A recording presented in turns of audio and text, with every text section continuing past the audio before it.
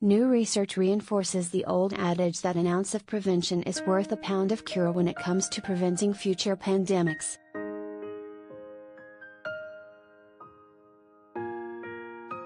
With the world now entering its third year of the COVID 19 pandemic, a team of 20 experts have released a blueprint for stopping animal borne pathogens from spilling over into humans.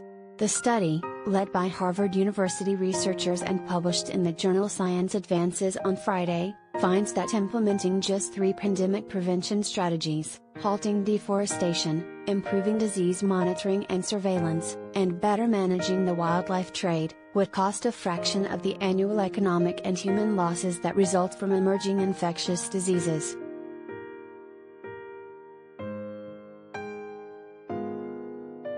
Less than 5%, to be exact, and that's a conservative estimate.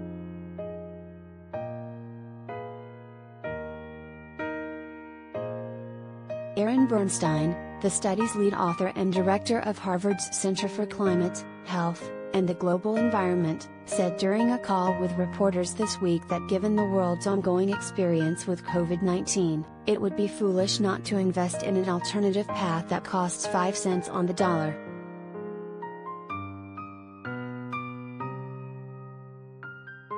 Our salvation comes cheap, he said.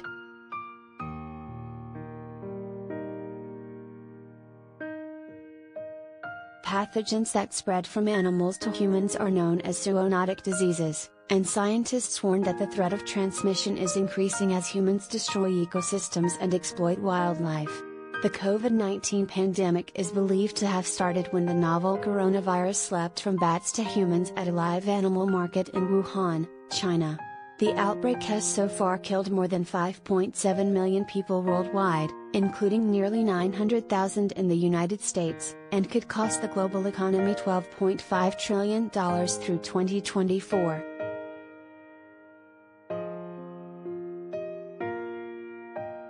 For its study, the Harvard led team reviewed mortality data for all emerging zoonotic diseases that killed at least 10 people dating back to the 1918 Spanish flu.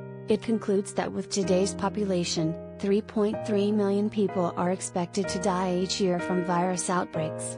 This loss of life translates to between $350 billion to $21 trillion annually, depending on different monetary estimates for the value of an individual human life. On top of that, disease outbreaks cause an estimated $212 billion annually in direct economic losses, according to the study.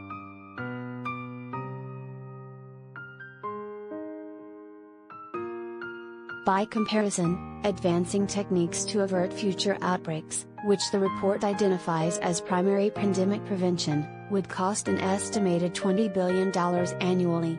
And it wouldn't take much for this kind of global investment to pay off.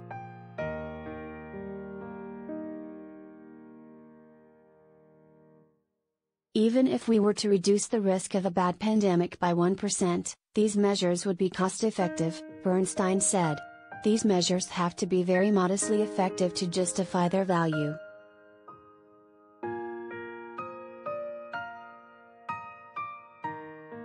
The study makes a clear case for shifting resources from pandemic preparedness and response to early prevention. The authors argue that the world is going about fighting emerging zoonotic diseases all wrong, focusing on vaccines, testing and other post-outbreak actions while largely ignoring ways to stamp out the next pandemic before it starts.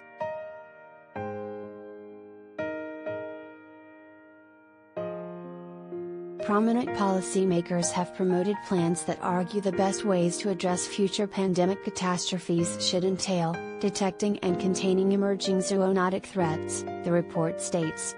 In other words, we should take actions only after humans get sick. We sharply disagree.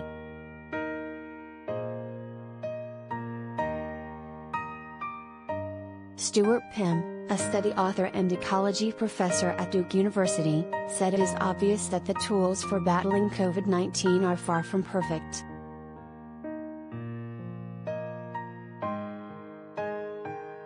Only 60% of Americans are vaccinated. We're not getting vaccines anywhere near the numbers we need to to people in poor countries, he said. We need to start thinking about preventions. Those preventions are broadly things that we know how to do, and broadly things that we could implement quite quickly.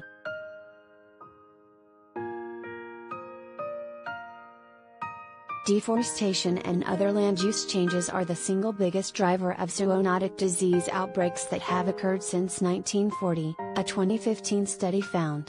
At the United Nations Climate Conference last year in Scotland, more than 100 nations, including Brazil, the US, Canada and Russia, signed an initiative to halt deforestation by the end of the decade.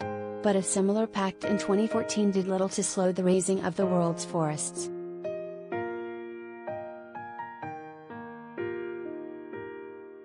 The new study notes that refocusing global pandemic efforts toward prevention would come with significant additional benefits, including preventing planet warming greenhouse gas emissions, protecting water supplies and safeguarding biodiversity.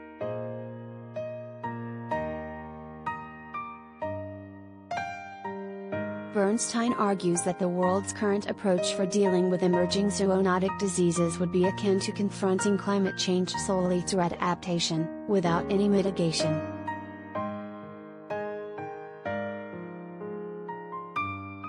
If we were living on a planet with a stable climate and an intact biosphere, we might be able to afford waiting until disaster happens and trying to contain it, he said. But the reality is we don't, and to operate on that premise is one of the greatest pieces of folly in modern times. To ignore the reality that the driver of disease emergence has to do with tumult in the living world and how we're doing business with it, is really shocking in this day and age. And we simply cannot afford to take a post spillover approach alone.